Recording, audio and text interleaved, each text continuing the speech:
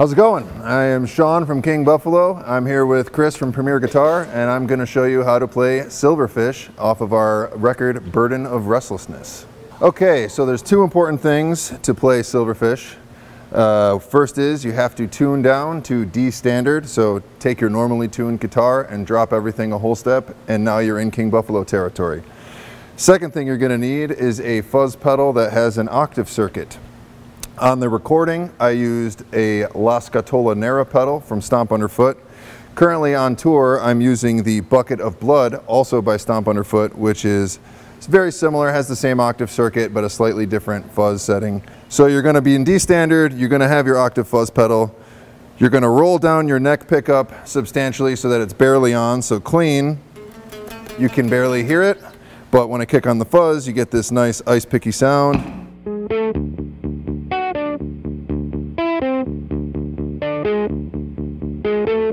All right, so the beginning of the song, we have our fuzz on, we have our down tune, we have our volume rolled so that it's barely on, and we have our fuzz circuit with the octave, and it kind of just vamps on this nice little simple circus riff, and that goes something like this.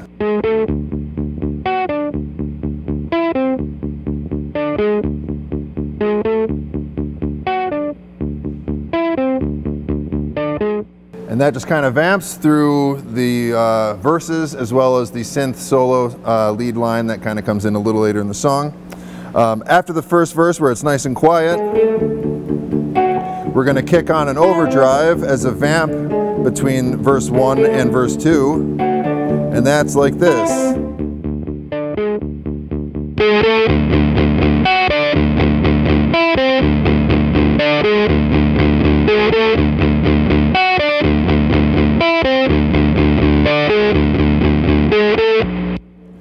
Back into verse 2, synth line, then we're going to come up to the bridge, and this is where it starts to get a little tricky just managing pickups and volume, but basically what you got to do is you're going to have your fuzz on, your volume's barely on.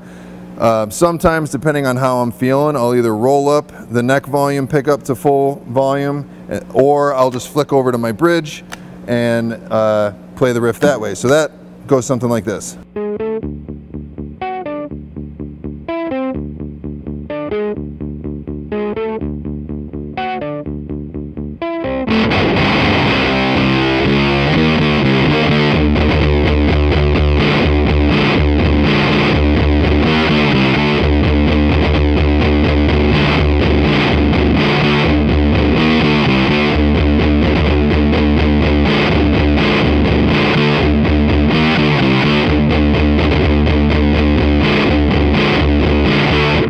Then we come to the last section of the song, which uh, kind of acts as like another chorus.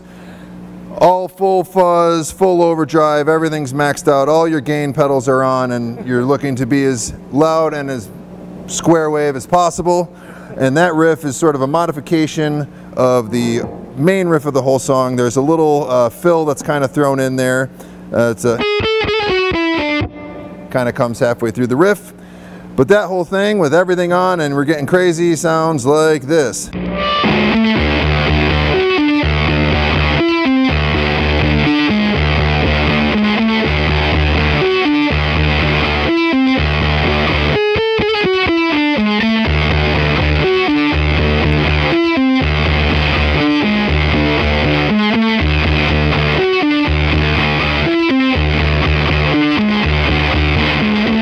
So Silverfish, like a lot of other King Buffalo songs, um, for anyone that's listened to our band, uh, everything kind of hovers around. I really am a, I'm a sucker for simple couple note riffs, maybe a couple strings, um, very simple and repeating it and then playing with dynamics, gain stages, modulation effects, whatever, to sort of let the arrangement of the song bloom.